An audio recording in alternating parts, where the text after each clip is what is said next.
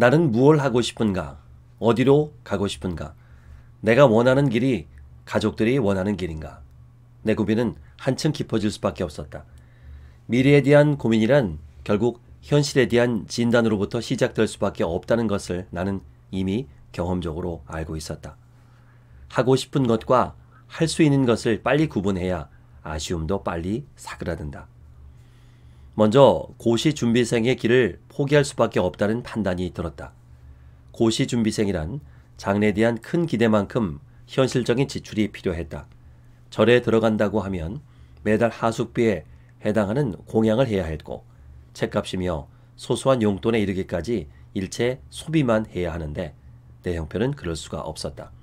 만약 내가 고시 준비를 하겠다고 들어가면 그만큼의 몫을 누가 감당할 것인가? 현실적인 대안이 없었다.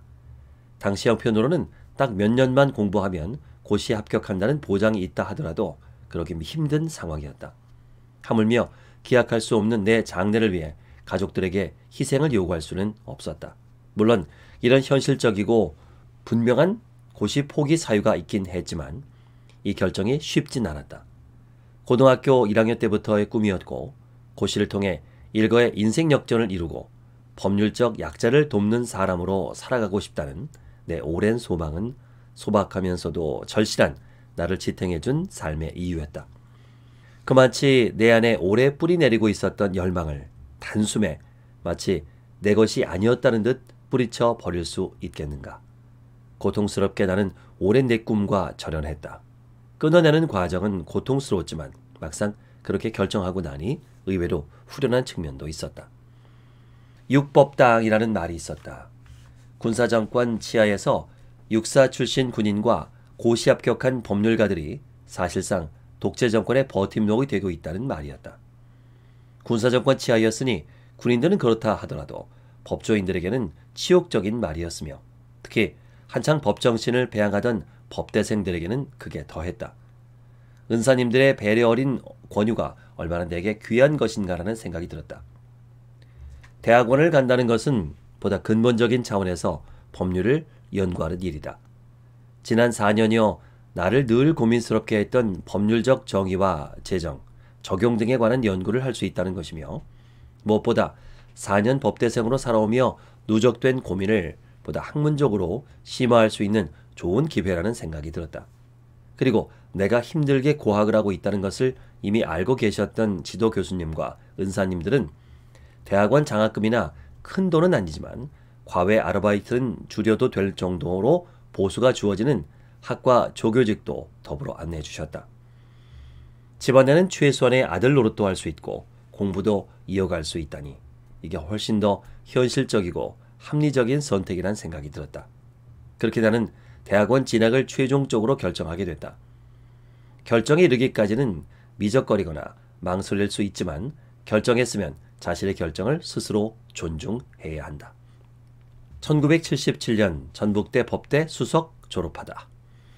선택은 늘 그만큼의 책임감 있는 행동을 요구한다는 것이 내 평소 지론이다. 나는 법학자, 나가서 교수로서의 길을 가겠다고 내 진로를 결정한 이상 내가 할 수 있는 최선의 노력을 다해 나의 선택이 옳았다는 것을 증명해야 했다. 여기 꼭 적어두고 싶은 이름이 있다. 지도 교수님이셨던 허영민 교수님, 당시 학과장이셨던 김일호 교수님, 한봉희 교수님, 그리고 학과 내에서 가장 젊은 교수였던 서규석 교수님이다. 특히 이 네 분 은사님은 내가 고민에 빠져 해결책을 모색하고 있을 때 가장 필요한 조언과 충고를 아끼지 않은 은사분들이셨다. 이렇게 고심과 결정의 시간을 보낸 후 나는 학부 마지막 학기까지 최선을 다해 학과 수업을 이수한 결과 1977년 2월 전북대 법대 수석 졸업생이 란 영예를 안게 되어 졸업식에 온 어머님과 누이들에게 웃음을 선사할 수 있었다. 대학 졸업 무렵 병역 문제가 떠올랐다. 당시 규정에 의하면 2대 독자이고 아버지의 연령이 60세 이상이면 6개월 방위 소집을 받으면 되었다. 다만 위의 경우에 재산이 전혀 없고 20세를 넘는 가족 중 생활 능력이 있는 사람이 없는 경우에는 방위 소집 대상자가 그 집안의 생계를 꾸려가야 하므로 기초 군사 훈련만 받고 방위 소집을 면제해 주도록 돼 있었다. 우리 세대가 베이비붐 세대의 언저리에 있어 한 가정에 6, 7명씩 자녀를 두었기 때문에 군대 인적 자원이 넘쳤던 시절이었다. 나는 2대 독자이니 당시 나의 아버님 연세가 60세 이상이었고 재산이 전혀 없었으며 20세 이상 가족 등의 나와 이외에는 생활 능력이 없었기 때문에 병무청 심사위에 방위 소집 면제 판정을 받았다. 내 시간은 나의 것이 아니다. 지금도 그렇지만 대학교 조교란 교수와 학생, 학생행정과 교육의 중간지대에 속해 양쪽 일을 함께 처리하는 자리이다. 어느새 시간이 흘러 내가 법대 신입생으로 갓 입학한 후배들에게 입학 오리엔테이션을 하고 있나 잠시 감상해졌다가도 매일같이 일어나는 크고 작은 학사 업무 처리에 숨 돌릴 틈도 없이 바쁘다가 잠깐의 시간이라도 생기면 수업 발표 준비를 해야 하는 것이 대학원을 다니는 조교들의 일상이었다. 이와 같이 오전 9시부터 오후 6시까지는 조교로 정규 근무를 하는 것 외에도 나는 병세가 심각해져 병원 투병 중인 아버님 간병하는 일과 학부생 때부터 지속해온 과외 아르바이트도 병행해야 했다. 하루 24시간 중 내가 내 마음대로 사용할 수 있는 시간을 낸다는 것이 여간 어려운 일이 아니었다. 이러다 보니 공부할 시간이 부족한 것은 불문가지 특단의 조치가 필요했다. 당시만 해도 교내 연구실이나 강의실이 부족해 법학과 내에는 학과 조교가 근무하는 사무실이 따로 주어지지 않았다. 이러다 보니 학과장을 맡으신 교수님 연구실에 학과 조교가 책상과 의자를 놓고 근무해야 하였다. 당시 나는 학과장이셨던 김인호 교수님 연구실에서 조교 업무를 수행하고 있었는데 밤에 연구실에서 잠을 자며 공부해도 된다는 허락을 받을 수 있었다. 잠자리가 불편하긴 했지만 새벽 일찍 일어나 고요한 정적에 쌓인 캠퍼스 위로 아침 햇살이 밀려오는 것을 볼 때마다 내 마음에도 뭔가 뿌듯한 성취감이 차오르는 느낌을 받기도 했다. 연구실에서 잠자며 5년 조교 생활. 앞서 이야기한 것처럼 대학원 진학은 내가 내 인생 행로 전체를 걸고 선택한 길이었다. 부지런하게 쉼 없이 해찰하지 않고 바르게 또 바르게 걸어가야만 했다. 기상과 동시에 사무실 창을 열고 아침 공부를 한 뒤에 대학 정문 앞에 정해준 식당에서 식사를 마치고 돌아오면 교수님과 학생들이 하나둘 학과 사무실을 찾기 시작한다. 하루의 시작을 사람들 얼굴을 마주치며 함께 한다는 것은 상당히 기분 좋은 일이라는 것을 나는 깨닫기 시작했다.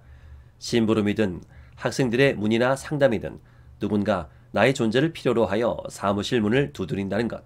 따라서 나는 그 자리를 지켜야 하고 언제든 요청에 응답할 준비가 돼 있어야 한다는 생각이 가져다주는 삶의 보람 같은 것을 느낄 수 있었기 때문이다.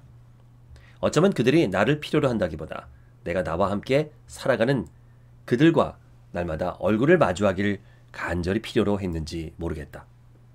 앞서 휴교령을 언급했지만 5년 조교 생활을 하다 보니 학생들과 얼굴을 마주칠 수 없는 상황이 되면 공허함이 몰려오고 내게는 후배이기도 한 학생들의 학교 밖 생활이 궁금하기 짝이 없었다. 학부생 시절 답답한 마음이 들면 나는 완산 칠봉에 올라가 친구들과 함께 노래를 부르기도 했다. 그렇게도 하지 못한다면 견디기 힘들었던 시절이었다. 그 뒤로 상황이 호전되기는커녕 더욱 어목해지는 것을 지켜보면서 나는 후배들이 저 깊은 가슴앓이를 어떻게 감당하고 해소해 나가고 있는지 마냥 궁금하고 염려스러웠다. 이때 내 모습은 완벽하게 조교 생활에 적응된 것이라고 할 수 있겠다. 교수님들을 도울 일, 학생과 관련된 일들을 처리할 때마다 내가 할 수 있는 최선의 노력과 집중을 통해 일과 관련된 사람들의 얼굴을 생각하며 하루하루를 보내고 있었다. 우리 학과 학생들에게는 평소 소탈한 이웃집 형처럼 편하게 대해주면서 교수님들을 대해서는 대신해서 학과 지도, 진로 지도 등을 해주었다. 신군부 세력 준동의 연일 시위 1979년 늦가을 종신 집권을 꿈꾸던 대통령이 자신의 측근에 의해 비명이 간뒤 전국 대학가에는 그동안 금지됐던 민주화 요구의 함성이 본물처럼 터져나오기 시작했다. 정치활동 규제를 받고 있던 정치인들이 매스컴에 등장하고 학내에서는 다양한 형태의 시굿 강연회와 토론회, 세미나가 열리기 시작했다. 돌이켜보면 정말 짧게 지나간 학원 민주화의 시기였지만 학생들은 자신들에게 주어진 자유의 시간을 조국의 미래에 대한 염려와 전망, 기대의 시간으로 보내고 있었다. 대학원생 조교 신분이고 나이도 학생들보다 많았지만 나 또한 휴교령이 떨어지기 시작하던 1973년부터 대학을 다니던 터라 우리 앞에 일어난 격동의 시간이 우리를 어디로 이끌고 갈지 궁금하기 짝이 없었다. 그렇게 마침내 70년대가 저물고 1980년이 열렸다. 개학과 동시에 학내에서는 이전과는 전혀 다른 폭발적인 열기가 감돌기 시작했다. 박정희 대통령의 죽음 이후 새롭게 등장하고 있는 신군부 세력의 준동은 누가 봐도 예사롭지 않았고 일종의 과도 정부라 할 최규화 정부는 국가적 혼란 상황을 수습할 의지나 능력을 보여주지 못하고 있었다. 결국 다시 군부 독재 시절로 회귀하는 것은 아닌가 하는 불안감이 국민들의 가슴 속을 엄습하고 있을 때였다. 이럴 때일수록 지성과 젊음이 함께하는 대학, 대학생들의 목소리가 필요했다. 그리고 실제 전국 대학가에서는 교수 시국 선언과 학생들의 시위가 거세게 분출되고 있었다. 전북대에서 중앙시장을 거쳐 구 전북도청에 이르는 8달로에서는 연일 시위가 계속되고 있었다. 그렇게 5월이 다가왔다. 마침내 연세 드신 교수님들까지 거리 행진에 나섰고 학생 시위대의 규모는 수천 명을 훌쩍 뛰어넘었다. 조교였던 나 역시 늘 거리에 나갔다. 우리과 학생을 비롯해 전북대 학생들의 보호가 주 업무가 됐던 것이다. 학생들이 다치면 병원으로 데리고 가고 연행이라도 되면 학교 당국에도 알리고 경찰서를 쫓아다니며 감금된 학생들의 석방을 위해 뛰어다녔다. 법학과 조교라고 하면 법조항을 다 알고 있을 것이라고 생각하는지 많은 분들이 한꺼번에 도움을 청해 진땀을 흘리는 일도 있었다. 이세종 열사의 죽음과 충격. 지금도 5월 17일 도청 앞 광장 시위 장면은 기억이 생생하다.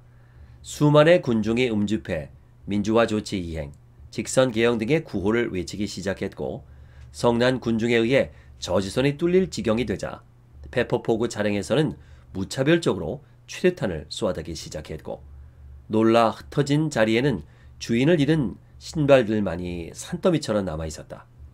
그날 전북도청 앞에서 수거된 구두 운동화가 트럭 한 대 분량이었다. 그렇게 1980년 민주 5월의 종언, 피해 5월이 시작되는 서막일 줄 누가 알았으랴. 경찰서 유치장 등을 쫓아다니고 아버님 병실에 들렀다가 집에 가서 옷만 갈아입고 다시 학교로 들어갈 때까지도 특별한 김새가 있었던 것은 아니다. 5월 18일 이른 아침 법대 연구실에서 나와 아침 식사를 위해 구 정문 앞에 이 덕진 분식으로 걸음을 옮기던 나는 내 눈앞에 펼쳐진 살 풍경 앞에 깜짝 놀라고 말았다. 본부 앞 삼거리 길목에 장갑차가 질주에 들어와 있고 그 옆으로는 살기등등한 표정의 군인들이 대우를 갖춰 검은 검색을 하고 있었다. 내가 지금 군 병영 안에 들어와 있는 꿈을 꾸는 것은 아닌가 의심이 들 정도로 아득한 비현실적인 풍경이었다. 학교에 진주한 공수부대원들의 손에 묵직한 철심이 박힌 육모방망이가 눈에 들어오고서야 나는 현실 감각을 되찾을 수 있었다. 학생 회관 쪽으로 유독 군인들이 많이 배치되어 있다는 것도 언뜻 눈에 들어오기 시작했다. 본부 앞 삼거리에서 즉신 본부 앞 삼거리에서 즉시 건물이 시작됐고 내가 법학과 조교라고 대답하자 잔뜩 굳은 인상을 풀지 않고 있던 공수부대원은 각진 턱을 들어 교문 밖으로 나가려면 저쪽으로 나가는 표시를 했다. 자연대 쪽으로 돌아서 나가라는 뜻. 학생 회관 쪽엔 얼씬도 하지 말란 뜻이었다. 내가 학교 연구실에서 잠든 시간 전국 최초의 5.18 희생자로 기록된 전북대 이세종 학생이 간밤에 학생회관 옥상에서 추락했고 그 즈음에는 사고 뒤처리를 하고 있었다는 것을 나는 점심 무렵에야 알게 됐다. 휴교령 시대에 대학을 다니며 군인들이나 경창들의 학원 사찰, 캠퍼스 점검 등 어지간한 꼴은 다 봤다고 생각했지만 그날 아침에 내가 목도한 광경은 그야말로 충격적인 것이었다.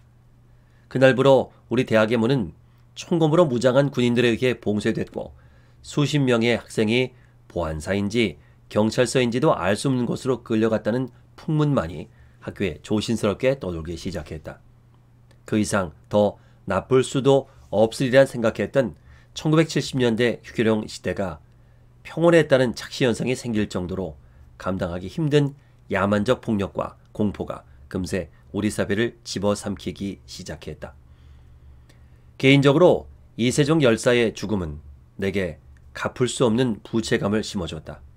같은 시간 직선 거리로는 300여 미터쯤 되는 곳에서 육모 방마기를 든 군인에게 쫓기다가 한 생명이 추락살 때까지 아무것도 모른 채 나는 피곤에 지쳐 잠만 잤다고 생각하면 밥술도 들 수도 잠이 들 수도 없던 시간이 한참 동안 계속됐다. 한승원 변호사님의 인생 가르침. 이 무렵 내가 가장 크게 의지하고 내 삶의 준고로 받아들인 분이 있다. 훗날 국민의 정부에서 감사원장을 지낸 한승원 변호사가 그분이다. 한승원 변호사님은 나의 대학 입학 초부터 전북대학교 법대생 모든 고시 지망생들의 롤 모델이었다. 처음에는 재학 중 고시 합격한 머리 좋은 선배, 지난 깡촌 출신으로 의지로 역경을 극복한 인간 승리의 귀감 정도로 알고 있었지만 한 변호사의 칠한 삶에 대해 조금씩 알게 되면서 나는 한 변호사님을 우리 시대 진정한 법조인으로 깊은 깊이 존경하고 마음으로 따르게 됐다. 일찍 고등고시 합격하고 화려하게 법무부와 서울지검에서 검사 생활을 시작했지만 시대의 고민과 아픔을 자신의 것으로 받아들여 변호사 개업을 함으로써 이후 우리 현대사의 경랑 속으로 기꺼이 투신했다. 대한민국 정부 수립 이후 가장 치열하게 살아온 인권 변호사, 시국 변호사로 당시의 표현처럼 피고인이 된 변호사로서의 삶도 주저하지 않았다. 1975년 필화 사건으로 구금됐을 때는 129명의 동료 변호사들이 변호인단을 구성해 화제가 되기도 했을 만큼 동료 법조인들의 신망을 받는 분이셨다. 동백님 사건, 오적 사건, 민청학년 사건, 통역당 사건, 인혁당 사건 등을 변론하는 동안 투옥은 물론 변호사 자격정지 8년 등 만약 한 변호사님이 없었다면 우리 법조계의 역사는 더욱 암울했을 것이다. 5.18 광주 민주항쟁이 시작되자마자 한 변호사님은 신군부가 조작한 김대중 내라는 뭐 사건의 공범으로 다시 투옥되어 계셨다.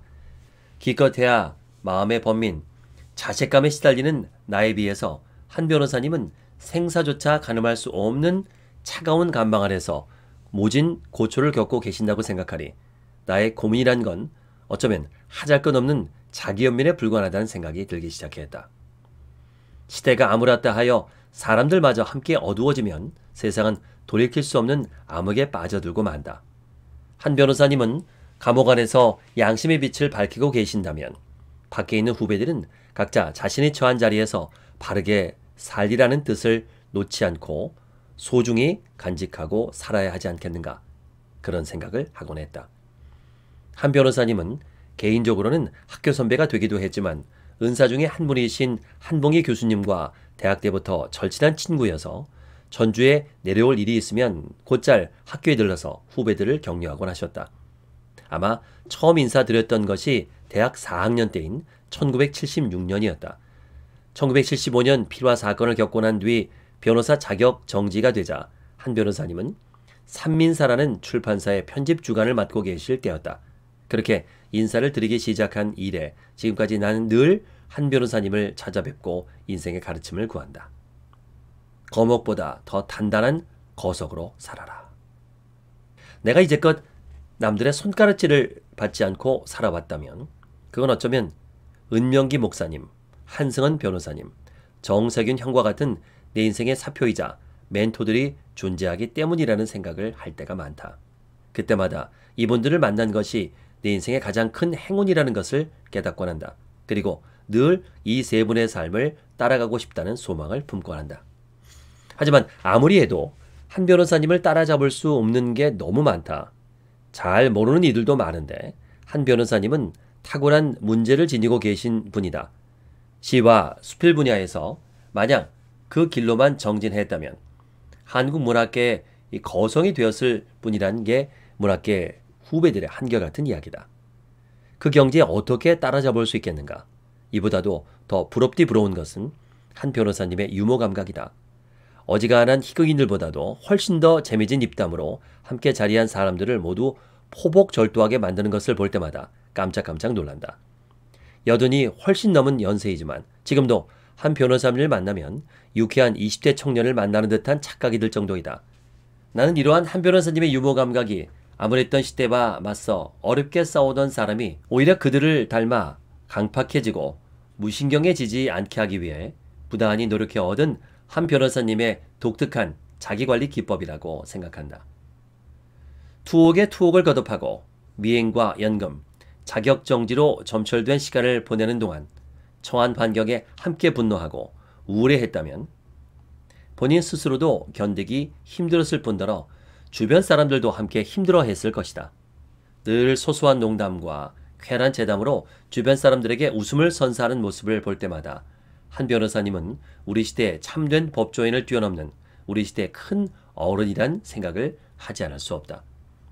여담이지만 한 변호사님은 지금도 내게 스스럼 없이 사회에서 큰 인물을 거목이라고 하는데 서거석 교수는 이름자 그대로 거목보다 더 단단한 거석으로 살라는 덕담을 건네곤 한다. 이세종의 죽음과 한 변호사님의 투옥은 지금 이 시대 내가 하고 있는 법학 공부가 얼마나 중요한 것인지를 다시 한번 깨닫게 하는 커다란 계기가 됐다. 법률은 위대한 인류 진보와 보편적 이성의 산물이며 문명의 총화이다. 또 법률적 약속이란 기본적으로 공동체의 선을 지키기 위한 합의에서 시작되고 그 약속을 애써 지키려는 노력은 곧 공동체를 지켜주는 무형의 울타리 역할을 하는 것이다. 헌데 이와 같은 법상식이 깡그리 무시되는 야만과 폭력의 시대 한가운데 우리들의 조국이 자리하고 있었다. 법치주의 정신이 자리 잡는 국가, 법상식이 일반화된 국민, 공동의 선을 위해 함께 노력하는 개인. 우리는 그런 나라에 살아야 하지 않겠는가? 그러기 위해선 법률적 정의를 연구하고 교육하는 사람도 꼭 필요한 것. 아픈 각성의 시간을 통과하면서 깨달은 게 또 하나 더 있다. 내가 속한 시간은 나만의 시간만이 아니라는 것. 나에게 보유된 시간은 가족과 국가 공동체, 학문의 연구에 쓰여야 하는 것이었다. 폭력의 반대말은 비폭력이 아니라 보다 드넓고 너그러운 법치주의의 구현이라는 깨달음도 이때 얻었다.